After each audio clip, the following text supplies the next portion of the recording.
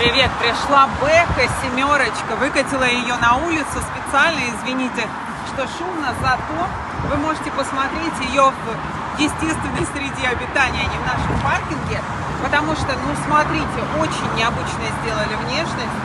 Это диодные щели, как вы видите, теперь они на многих автомобилях идут вместо фар. А, свет здесь великолепный, но за такие деньги у премиального автомобиля он и не мог бы быть другим. Пойдемте посмотрим на э, заднюю часть машины.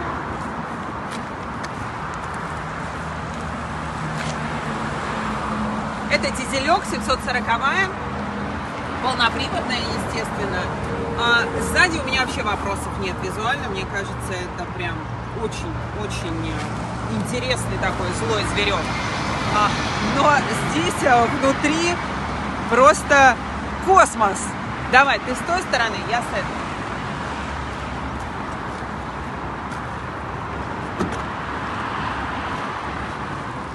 Эм... Ну, смотрите. Начнем с того, что э, вот это, это прозрачный пластик, и цвет под ним может быть не обязательно малиновым, он может быть нормальным. Выбирайте тот, который хотите, там палитра достаточно велика. А машина на русском языке, вот как вы видите. А, знаете, перечислять, наверное, все функции, которые здесь есть, будет неправильным, потому что это займет минут там, наверное, 20.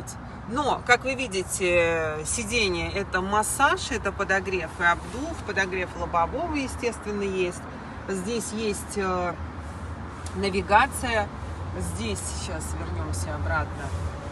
А, ну, естественно, подключение там Apple CarPlay, Android Auto, режимы движения, автопарковщик, великолепнейшая камера, вот она, а, а, шайба управления, сзади здесь, покажи, пожалуйста, в ту дверь. Вот, огромная панорама, и сзади здесь вот единственное отличие этой машины от той, которая у нас была предыдущая. Здесь сзади достаточно простые сиденья, но подлокотник э, внутри прикольный. А давайте сейчас, подожди, давайте сейчас сяду.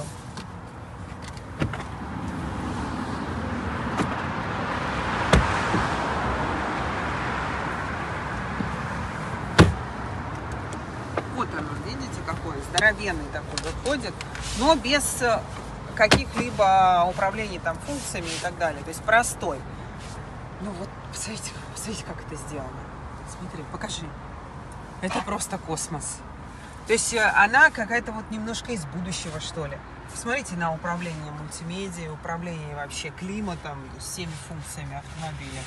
Они не стали запариваться, они просто встроили экранчики в э, дверные карты. С той стороны ровно то же самое.